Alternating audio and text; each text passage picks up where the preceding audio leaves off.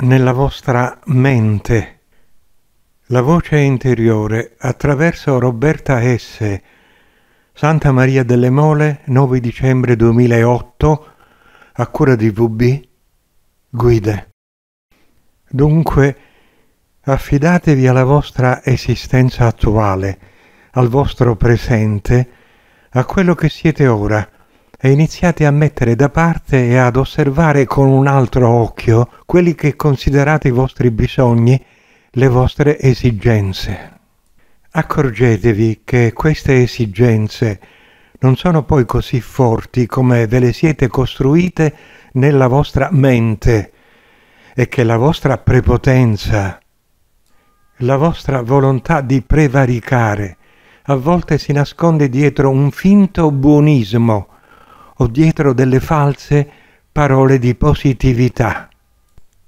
Cercate di essere in grado di donare, non per soddisfare il vostro ego che vi fa sentire più buoni quando donate, perché non è quella la pace e l'armonia che vi diciamo noi, ma semplicemente la vostra forza interiore saprà restituirvi quell'energia a cui vi agganciate nel momento che donate, nel momento in cui la vostra esistenza si fa dono.